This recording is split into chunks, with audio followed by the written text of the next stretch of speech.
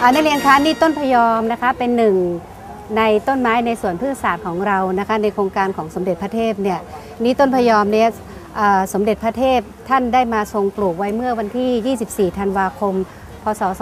2540 ก็เป็นเวลา 15 ปีแล้ว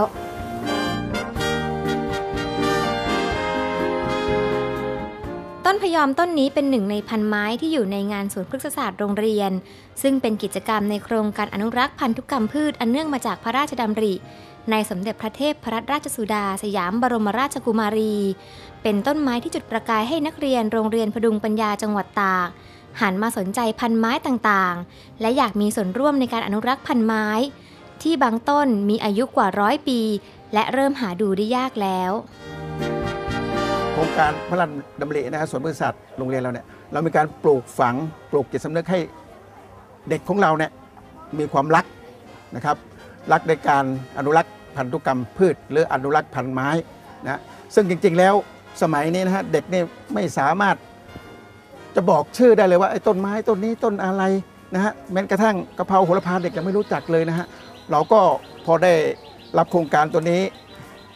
มาดำเนินการนะฮะ ก็ได้สอนให้เด็กได้รู้จักพันไม้พื้นฐานแล้วก็พันไม้แปลกๆในโรงเรียนเรานะซึ่งซึ่งเป็นแหล่งรู้อย่างดีที่สุดนะครับ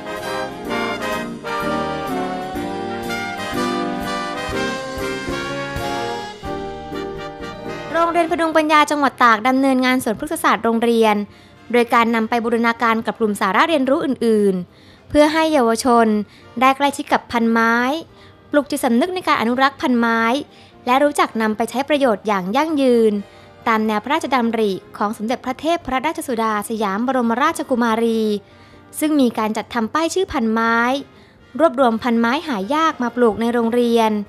มีการศึกษาข้อมูล วิเคราะห์และจำแนกพันไม้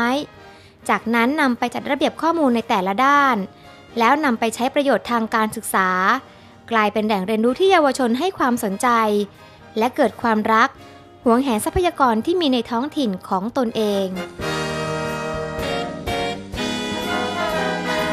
การที่เราได้เข้าไปสัมผัสในสิ่งแวดล้อมจริง ๆ จะทำให้เราเกิดกระบวนการเรียนรู้ที่ดียิ่งขึ้น มากกว่าการที่เราเรียนแต่ในอยู่แต่ในห้องเรียน ดังที่สมเด็จพระเทพ ท่านทรงมีพระราชดำริและแนวคิดที่จะอนุรักษ์ ต้นไม้อนุรักษ์พันธุ์พืช เพื่อเป็นการ ปลูกฝังจิตสำนึกให้เด็กและเยาวชน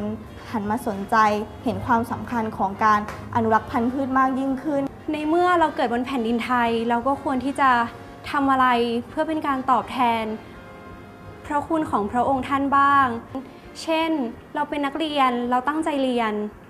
เรามีความรักในผืนแผ่นดินไทย ให้สมกับที่เราเป็นคนไทย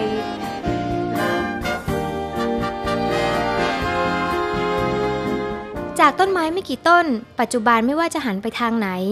ภายในโรงเรียนพดุงปัญญาก็จะเห็นแต่พันไม้ต่างๆ ที่นอกจากจะให้ประโยชน์ด้านความรู้แล้ว ยังให้ร่มเงาแก่น้องๆ เวลามานั่งอ่านหนังสือใต้ร่มไม้อีกด้วยสำหรับองค์สมเด็จพระเทพแล้วเนี่ยโรงเรียนพดุงปัญญาได้รับพระมหากรณาธิคุณจะเห็นว่าเรามีเรือนพยาบาลท่านผู้หญิงทวีมณีนุชซึ่งเป็นอ่าแม่นมของพระองค์ และก็มีนักเรียนในพระราชานุเคราะห์ของสมเด็จพระเทพที่ได้รับทุนการศึกษาจากพระองค์ และสำคัญที่สุดแนวคิดเกี่ยวกับพัฒนาการศึกษาของสมเด็จพระเทพไม่ว่าโครงการรักการอ่านหรือโครงการอนุพันธุกรรมพืช หรือส่วนพฤกษศาสตร์โรงเรียนเนี้ยผมคิดว่านักเรียนโรงเรียนพดุงปัญญา และคุณครูโรงเรียนพดุงปัญญาทุกคน มีความรักและเทิดทูน แล้วก็เห็นความสำคัญ พร้อมที่จะทำงานตามพระดำริอย่างเต็มใจทุกคนครับ ทีมงานสถานีวิทยุโทรทัศน์แห่งประเทศไทยจังหวัดพิษณุโลก สำนักประชาสัมพันธ์เขต 4 รายงาน